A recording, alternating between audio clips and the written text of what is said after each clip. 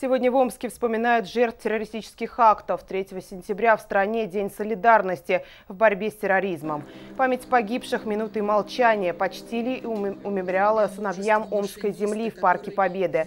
На митинг пришли около 400 человек, представители общественных и ветеранских организаций, силовых структур, чиновники и простые амичи. К сожалению, еще предстоит очень много сил всем потратить на то, чтобы обеспечить борьбу с этой заразой.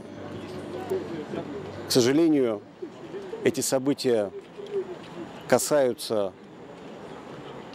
морально всех и обжигают семьи отдельных россиян.